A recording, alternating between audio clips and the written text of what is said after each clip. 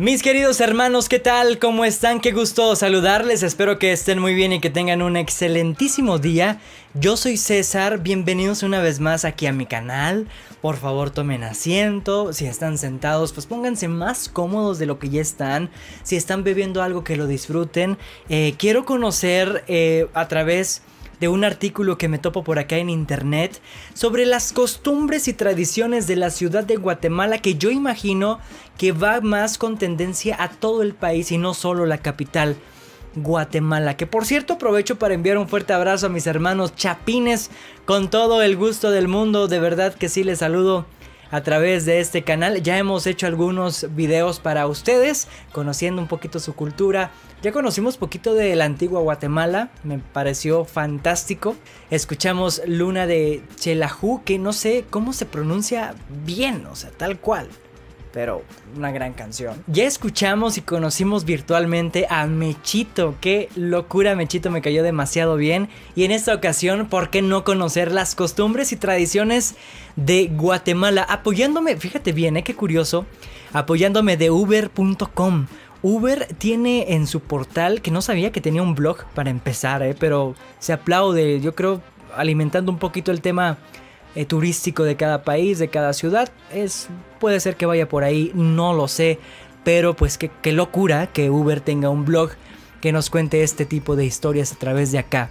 Resulta que Guatemala es un país rico en costumbres y tradiciones que se han pasado de generación en generación. La mezcla de culturas ha tenido como resultado una gran variedad de actividades propias del país que se celebran a través del año. Guatemala tiene tantas tradiciones que enamoran tanto a los locales como también evidentemente a los extranjeros y lo convierte pues vaya en atractivo turístico, eh, sus colores, la comida, la música, todo el ambiente. Entonces estoy completamente listo para conocer de qué se trata y cuáles son las más impresionantes costumbres y tradiciones de Guatemala. Vamos con el número uno, mis hermanos, Semana Santa. Resulta ser una de las más reconocidas tradiciones guatemaltecas a nivel nacional e internacional. Les platico que durante toda una semana, eh, miles de guatemaltecos se reúnen para visitar altares religiosos, hacer alfombras con acerrín y vaya de diferentes colores y al ver procesiones que se hacen a través de todo el país, algo que me suena completamente a México también, ¿no? Creo yo que tiene mucha similitud en nuestra Semana Santa, es una semana al cual son unos días que sí, pues jueves santo, viernes santo, sábado de gloria y domingo de resurrección. Eh, se hacen diferentes este, temas que la verdad no pienso ahondar porque los desconozco mucho, no soy como que muy empapado en el tema, pero me suena mucho, o sea, me suena mucho y por la cercanía geográficamente hablando, no creo que sea tan diferente el tema. Lo que ha descrito por acá Uber en su portal, pues es lo mismo prácticamente, altares, altar religioso, hacer alfombras con acerrín de diferentes colores y bueno, pues ver le pones ahí en el altar. Bueno, acá en México se estila mucho ponerle eh, lo que le gustaba mucho beber, el famoso pan de muerto que aquí es muy, muy famoso, muy conocido y, rico también mencionarlo. Eh, lo que le gustaba comer, un poquito ahí, una foto de, de, la persona al cual se está rindiendo el homenaje, ¿no? Entonces es interesante. Pero ese es Día de Muertos y acá Semana Santa. Ah, cabrón, es verdad. Ah, oye, sí es cierto. Yo estoy describiendo Día de Muertos, qué güey. Entonces allá la Semana Santa la rinden como nosotros tal vez el Día de Muertos, ¿no? Pudiera ser. Porque nosotros en Semana Santa no hacemos eso. No, son días de ayuno, días de misa. días- Es cierto, a ver, este, aquí en México sí, a ver, es cierto, todo mal, ¿eh? Todo mal. Resulta que acá en México el Día de Muertos es más similar a lo que están describiendo aquí eh, como Semana Santa. Acá Semana Santa es más bien, la verdad, desgraciadamente se, se desvirtúa mucho la fecha y se toma para vacacionar y te olvidas de repente los, los, el fondo, el trasfondo de esto. Pero sí es temas de ayuno, temas de rendir, y, ir a misa y eh, hacer este, ¿cómo se llama esto? La, el Via Crucis, ¿no? Recordar la de, de Jesús, la vida de Jesús y la muerte de Jesús, la resurrección y demás. Interesantísimo, ¿no? Yo creo que, te digo, hay mucha similitud en ese, en ese aspecto.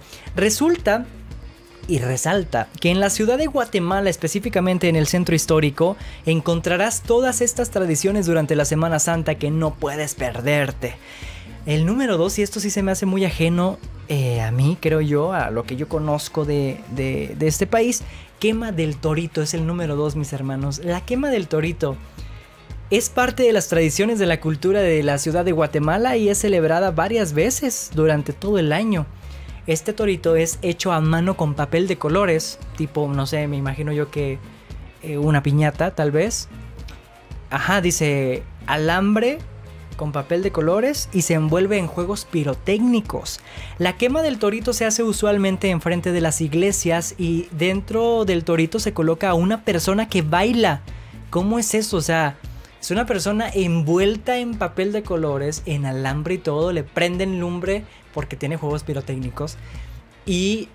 Eh, qué miedo, ¿no? O sea, definitivamente qué miedo, pero ha de ser muy divertido verlo. Dice, esta tradición se originó después de la época de la conquista española como celebración de la llegada de este tipo de pirotecnia al país y hasta el día de hoy no se ha dejado de celebrar. O sea, festejan que existe la pirotecnia, que llegó la pirotecnia a Guatemala. Eh, si buscas una tarde llena de emoción, color y cultura guatemalteca, no busques más que la quema del torito. Vamos a ver un video de la quema del torito, ¿les parece?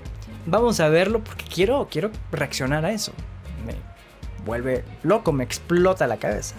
Ok amigos, aquí estoy encontrando un video que resulta ser de un canal Joan Joan. Que acá abajo le vamos a dar su crédito. Rezado de la Virgen de Concepción, zona 10 de la iglesia de Nuestra Señora de Concepción. Esto fue realizado en el 2017 por allá de diciembre. Y me llama la atención que también tienen diferentes meses del año en los cuales realizan este tipo de, de, de eventos. Vamos a reaccionar mis hermanos. ¿Están listos? Quema del torito. Yo estoy listo y completamente ansioso.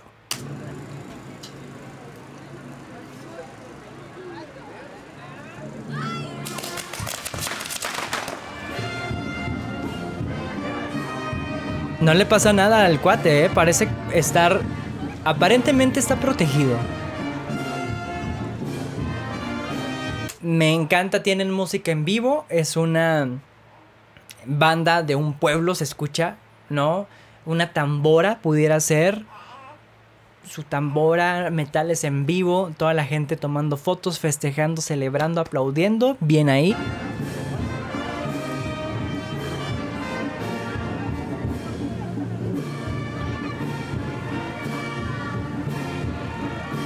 Sí, ya entendí un poco más. Es una estructura ahí de metal que los protege. O sea, no hay mucha manera que, que corra riesgo. O sea, sí, sí hay un riesgo, como todo, pero no, no creo que sea tanto.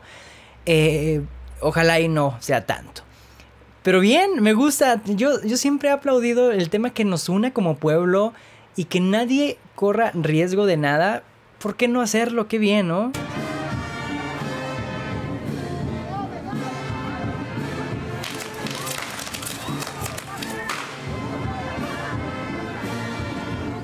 Sas para atrás.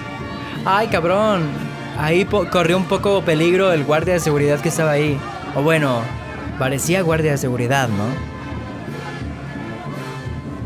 Ahora, me llama mucho la atención eh, el cuate que está justo haciendo la danza y que le toca es por una rifa, es voluntario, hay una lista, cómo se elige, quién es el elegido, ¿no? Oye, siempre sí me resulta peligroso, a lo mejor no para el que está bailando, tal vez no tanto para él, pero sí para el, el, público que se une ahí. No toda la gente entiende, eso se sabe, no toda la gente entiende que te alejes. Aparte veo ahí a alguien encargado de decirle date vuelta, vete para allá, vete para acá. Está padre, se, se ve, se ve bien, bien. Quema del Torito y Semana Santa, muy interesante. La danza de los moros, mis hermanos. Continuamos nuestra lista de costumbres y tradiciones de Guatemala.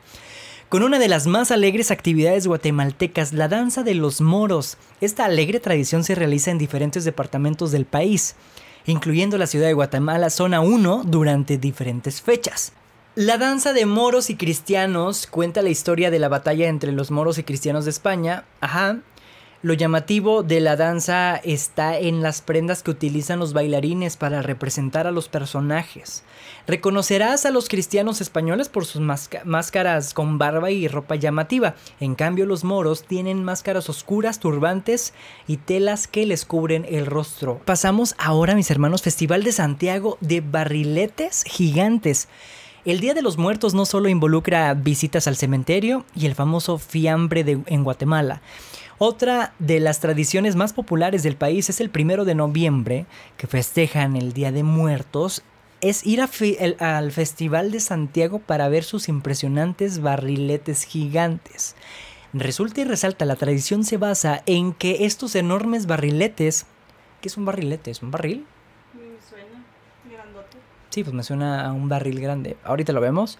E de hasta 16 metros de diámetro ahuyentan a los malos espíritus y cuando el evento termina por la tarde los queman para que el humo guíe a las almas perdidas. Qué locura, ¿no? Latinoamérica tiene unas ondas, le, encanta la pirotecnia. Dice, este, el festival empieza desde las 4 de la mañana. Eh, ah, mira, ok, aquí está una imagen que podemos observar. Vamos a buscar en YouTube y vamos a reaccionar. Aquí está un video, mis hermanos, el primero que me encontré, un canal que se llama Ministerio de Cultura y Deportes, Festival de Barriletes Gigantes de Santiago Zacatepeques, acá, hijo. Sí, sí, sí, sí, en el 2017. Vamos a reaccionar, ¿les parece? Venga. Interesantísimo. Me encanta la vista panorámica que nos ofrece esta, toma, ¿no? Muy temprano preparándose allá mis, mis hermanos de Guatemala. Ok, ya. Sí es enorme, sí son gigantes. Es un círculo con... con palos, ¿no? Bueno, ahí lo ves en el video. Pero de verdad gigantesco, gigantesco, gigantesco.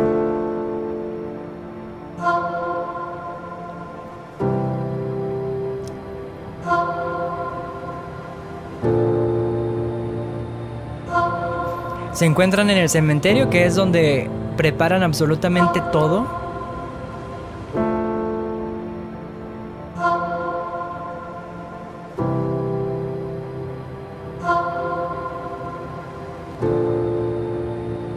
Ah, pues es eso. Haz de cuenta que son. Haz de cuenta que es una cometa, pero hecho por postes gigantescos. Es una cometa, ajá, en círculo. Entonces, pero lo hacen con postes larguísimos, los amarran, los hacen, obviamente lo hacen el, todo en el piso para luego levantarlo. Ya no sé qué vayan a hacer, amigos. Está interesantísimo esta, me gusta mucho. Hasta ahorita mi favorita. Ahí están todos ya, ya preparados, ok. Oye, ahorita diciendo que eran como barriles, nada que ver. Todo esto lo están haciendo en el, cementerio. Ok, ponen banderas al final, se ve maravilloso. Mira nada más. Es que es, es, un, es un trabajo artesanal único y brillante. Desconocía completamente esta, esta tradición. Me encanta hacer este tipo de videos. Aprendes demasiado, amigos. De Guatemala me gusta esto, ¿eh? ¿Cuándo dijimos que lo hacían? El primero de noviembre, ¿no? Es correcto. Sí, se van al cementerio, hacen Tal vez lo, que, lo mismo que nosotros, están un rato ahí, cantan las canciones que le gustaban al muertito, el, festejan, comen ahí, lloran un momento, le dedican el tiempo, pero en lo que hacen eso, tal vez están haciendo el cometa gigantesco. El barrilete le llaman ellos, tal vez ya eso. Lo tienen preparado días antes. O a lo mejor ya lo tienen preparado días antes. Pero el tema artesanal, que no sé de qué esté hecho, es maravilloso. Es una estampa grande. No creo que sea impreso, obviamente, conociendo la calidad del latinoamericano es algo artesanal impresionante que ya tiene que estar meses antes hecho, ¿no? A ver, vamos a continuar. Qué interesante está eso.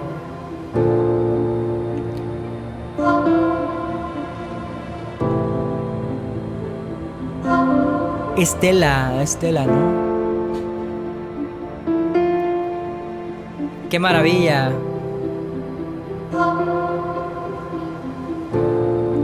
Sí, Estela, ajá.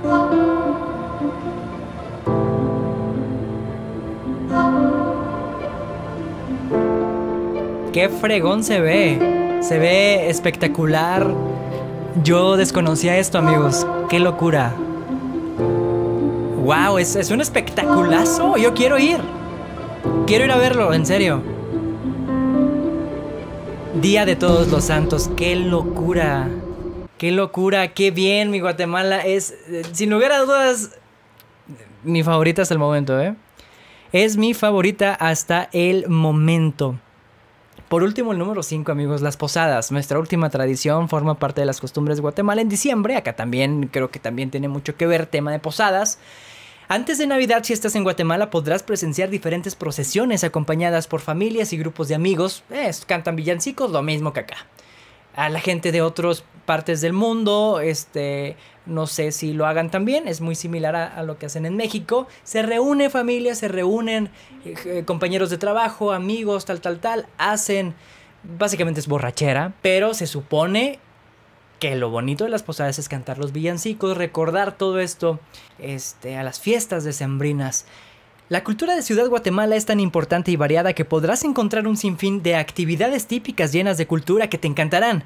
Cada una tiene una historia y propósito detrás de los guatemaltecos. Se esfuerzan año tras año para mantener vivo esto.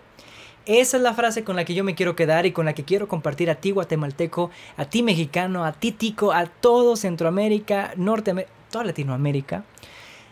Mantener nuestras tradiciones que hacen diferente el Latin Power a cualquier otra eh, tipo de, de nacionalidad, ¿no?